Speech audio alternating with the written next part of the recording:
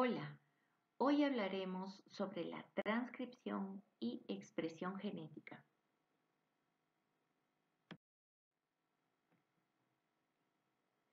El ADN que se encuentra en el núcleo tiene como principal función guardar la información necesaria para producir un organismo completo.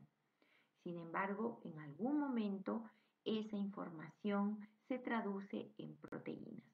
A eso le llamamos expresión genética. La expresión genética implica traducir el código que está en los genes.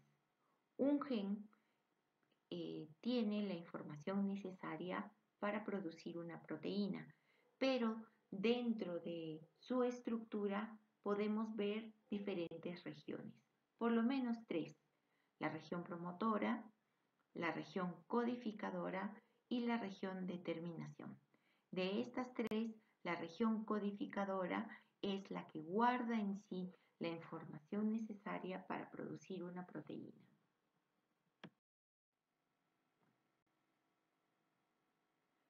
El ARN ribosómico o ribosomal eh, se produce también por la transcripción de un gen específico. Y las cadenas que se producen aquí sirven para la formación de los ribosomas. Los ribosomas son estructuras que favorecerán la fabricación de la proteína. El ARN de transferencia también se logra a partir de un gen, pero vemos que tiene otra estructura. Esta molécula resultante de ARN toma la forma típica de un trébol con dos lugares muy importantes. El extremo 3', que es el lugar donde se va a unir el aminoácido, y el anticodón, que lee el codón en el ARN mensajero. Así, los tres ARN, decir, el mensajero, el ribosomal y el ARN de transferencia, que se han producido en el núcleo pero que han salido al citosol, se unen aquí para hacer la estructura básica de producción de proteínas. Luego del proceso de traducción tendremos como producto una proteína recién formada.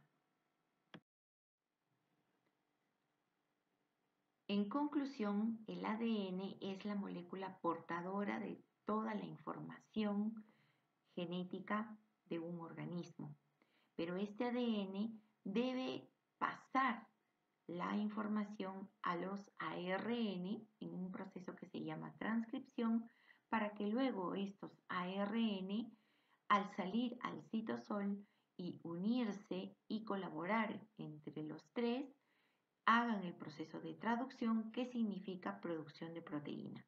Recuerden que a esto también le llamamos expresión génica.